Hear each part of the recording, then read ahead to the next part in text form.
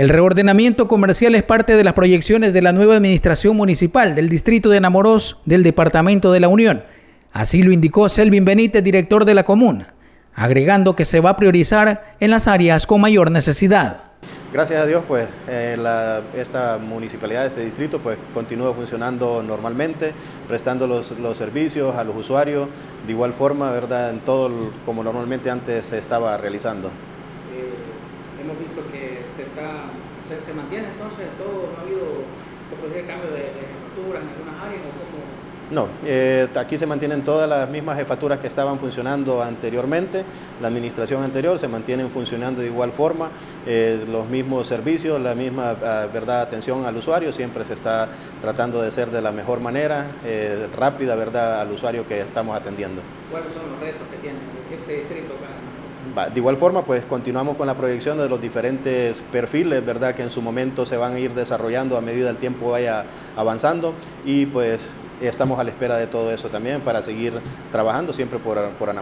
Benítez dijo que los trabajos de bacheo que realiza la Dirección de Obras Municipales se había paralizado debido a la falta de materiales, indicando que estos trabajos nuevamente han sido retomados que se estará finalizando en los próximos días. Eh, ahorita con la Dirección de Obras Municipales, ¿verdad? Ellos en cuestión de abastecimiento tal vez eh, con el adoquín es que han tenido ahí esos detallitos porque ya prácticamente eh, son pocos los tramos que están aperturados y que están a la espera de eso para poder colocar.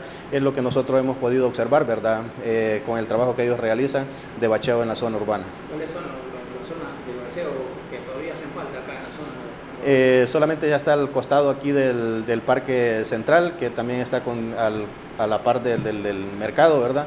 De igual forma, tramos eh, pequeños que han quedado a, la salida de, del Ilique y así esos tramitos de enlace, de empalme de, las calles, ¿verdad? Son los que ya prácticamente están por, por pendientes por terminar. Pero eso ya eh, Sí, la verdad que esperamos nosotros que ya en poco tiempo ya se tenga normal y se tenga habilitado toda la, vía de, acceso ¿verdad? de nuestro distrito para que sea mucho más cómodo el, tráfico para las personas que pasan para los demás distritos vecinos. También de igual forma estamos trabajando en un plan de reordenamiento.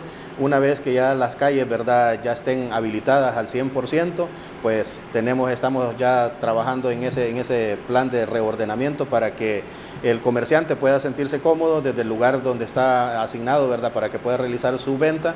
De igual forma también aquella persona, el cliente que lo anda buscando pueda tener ese acceso más fácilmente. Entonces estamos trabajando en ello para ver qué espacios de, calles ¿verdad? van a ser asignados para X eh, actividades del comercio para que tenga la facilidad siempre, ¿verdad? el cliente de poder llegar fácilmente a poder, eh, poder hacer sus compras ¿verdad? al mismo comercio. Asimismo mencionó que en la alcaldía se está ayudando a la verificación de los datos de las personas que han sido beneficiadas con los paquetes agrícolas. De igual forma, pues ya conocemos, ¿verdad?, que para esta época el gobierno central, por medio del Ministerio de Agricultura y Ganadería, ellos realizan, en este caso, la entrega de, paquetes. Esta vez, ¿verdad?, es una especie de, de tarjeta que va a ser canjeable para el equipo de insumos que van a poder necesitar nuestros agricultores. Entonces, hay personas, ¿verdad?, que a ellos se les dificulta tal vez el acceso a, un teléfono inteligente y poder verificar eh, qué día les corresponde hacer el retiro, pues fácilmente se pueden acercar aquí a la municipalidad. No hay una persona que está ayudándoles y le está anotando, ¿verdad?, qué día les corresponde hacer el retiro de su, de su tarjeta, en este caso, que es el equivalente a su paquete de, de, insumos, ¿verdad? No se tiene un estimado, ¿cuántos agricultores en el distrito de Enamoros anda alrededor de 3.600 agricultores que son beneficiados directamente por el gobierno, por medio del Ministerio de Agricultura y Ganadería, con estos paquetes. Con edición de Cristian Martínez, informó para Noticiero El Zamorano Moisés Paniagua.